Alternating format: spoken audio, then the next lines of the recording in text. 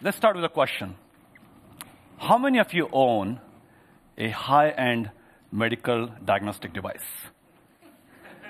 Well, that's not surprising. These devices are bulky, expensive, and require trained professionals. Here I am getting a cataract test, a device that really hasn't changed for several decades. And here I'm getting a retinal exam, but check out the user interface. it's a quarter million dollar device, but the nurse is shoving my head into the eyepiece. And here for eyeglasses. Now, these solutions are fine in the developed world, but in developing countries, millions of people are suffering because of lack of diagnostic solutions for problems that actually have, you know, great solutions, easy solutions. So we have a new solution called Netra. And Netra is a clip-on eyepiece that goes on top of a cell phone. It costs only a dollar. You would look through it, interactively align the patterns that are being shown on the screen using the keyboard, hit calculate, and it'll give you the data for prescription of your eyeglasses.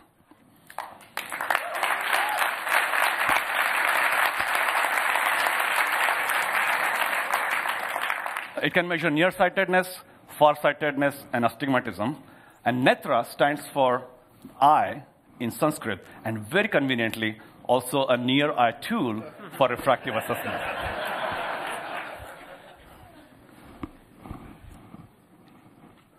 now, you know, more than 2 billion people have a refractive error. We have a pretty good representation here.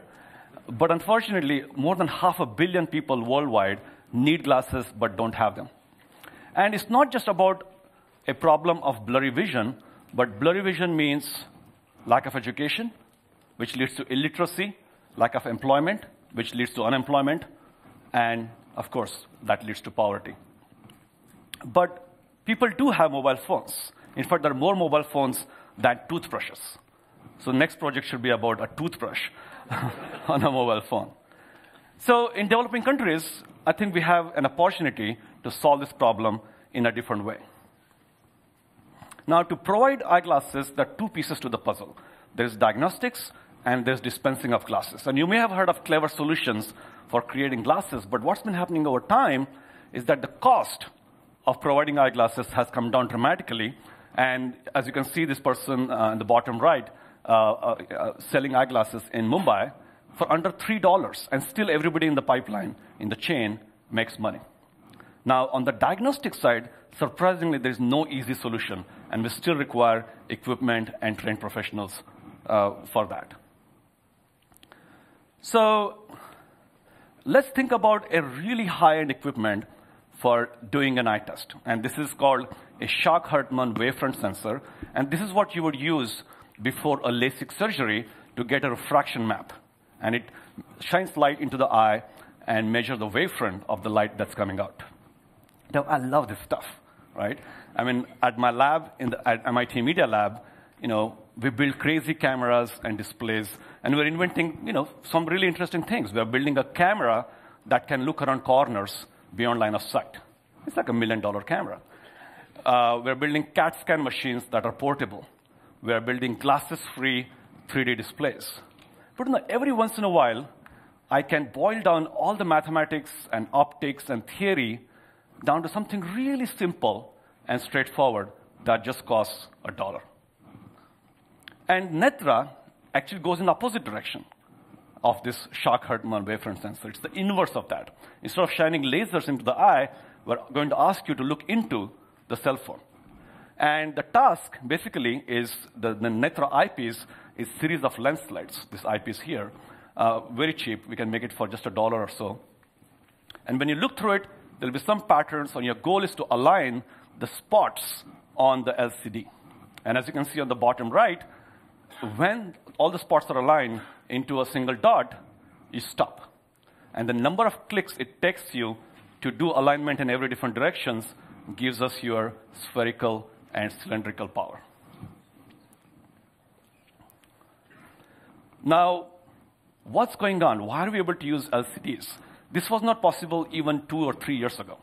What's been happening over time is cell phone makers are increasing the resolution of the mobile phone displays. And why is that? Because all of us want to watch our favorite episodes of Lost and Desperate Housewives in HD. Just think about that. The pixel pitch at 300 plus DPI is down to 25 micrometers. And when they call it a retina display, they didn't realize we'll actually use it to look at the eye. At that resolution, at 25 micrometer, we can actually convert the cell phone into a scientific instrument. So please go and watch more HD content and play more video games because then others can exploit that to provide diagnostic care in remote parts of the world. So because it's portable and easy to use and doesn't require expertise, we have received a tremendous response for Netra, and I'm happy to tell you that we're in more than a dozen countries, and we have great collaborators who are NGOs. Uh, we are working with eye clinics, eyeglasses providers, and also doing several IRB-approved trials. And as a professor, of course, I get great pleasure to see that my students are writing prestigious academic papers in the geekiest of journals. so, you know, with, with, uh, with Netra, uh, you know, in a way, we can provide children a shot at a decent education that they would have, wouldn't have if they had a blurry vision. And we can think of Netra as a thermometer for an eye because you can check the eyesight more frequently over time. Uh, we can, for a day laborer, uh, for day labor, it's important for employment to make sure the vision is, uh, is able to function for the tasks.